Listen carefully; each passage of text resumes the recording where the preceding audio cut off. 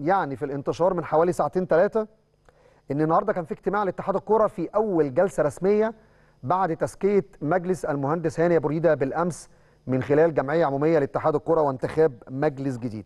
النهارده تم اتخاذ يعني حوالي 15 قرار.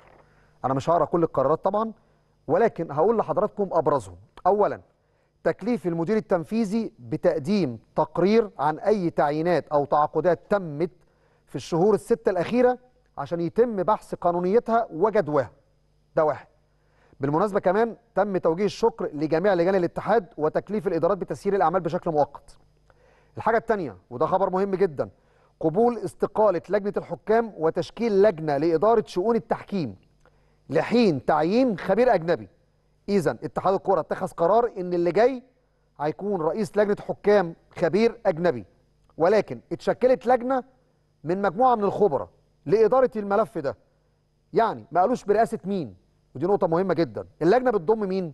كابتن وجيه أحمد الكابتن هشام صلاح مصطفى ويمكن اعتقد كابتن هشام كان بعد شوية عن عمل التحكيم من سنوات طويلة. آخر مرة أنا شفته أعتقد كان في لجنة الكابتن عصام صيام. من سنوات من حوالي أكتر من 10 سنين يعني. كابتن جهاد جريشة وجه جديد. دكتور عزب حجاج موجود في اللجنة من سنين. كابتن فهيم عمر.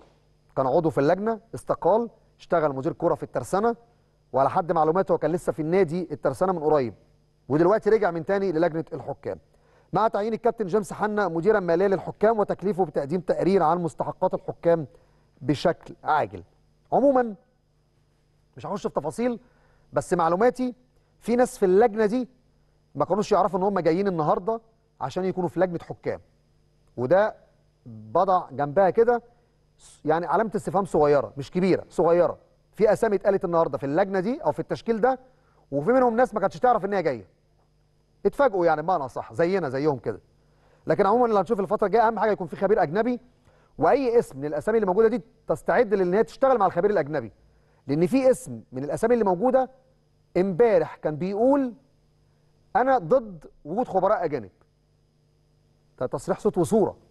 فهنشوف اللي هيحصل الفترة الجاية. ونشوف إيه اللي هيتم في الفترة اللي جاية. طيب تشكيل لجنة برئاسة الأستاذ خالد الدرندلي نائب رئيس الاتحاد والسيد محمد أبو حسين عضو مجلس الإدارة عشان يقدموا دراسة تفصيلية عن الموقف المالي للاتحاد. كمان لجنة ثانية لمراجعة العقود فيها المستشار أحمد حلمي الشريف والسيد طارق أبو العينين وهم الأعضاء الجدد في مجلس الإدارة. تكليف الإدارة الفنية بتقديم تقرير عن المنتخبات الوطنية مرفق بها التزاماتها خلال الفترة المقبلة طبقا للأجندة يعني وذلك لعرضه على اللجنة الفنية عقب تشكيلها بالإضافة لعرض ما تم بخصوص مشروعات الاتحاد الدولي وبرامج التطوير.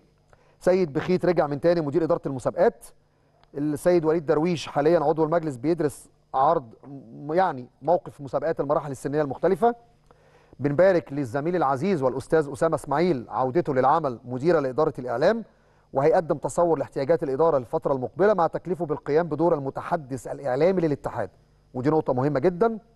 وفي تنبيه على جميع المنتمين لاتحاد الكرة في إداراته المختلفة ولجونه وفروعه في كل اللجان والفروع بقى والمنتخبات الوطنية أيضا بعدم الظهور أو الحديث لوسائل الإعلام دون إذن مسبق. وبالنسبة للكرة النسائية بنبارك للزميلة العزيزة إيناس مظهر على تكليفها كعضو للمجلس في اتحاد الكرة. والنهاردة بقى عندها مهام مهمة جدا هي والسيدة هيام بركة عشان يشوفوا نشاط الكرة النسائية بجميع مستوياته. نتمنى لهم التوفيق. في المرحلة اللي جاية.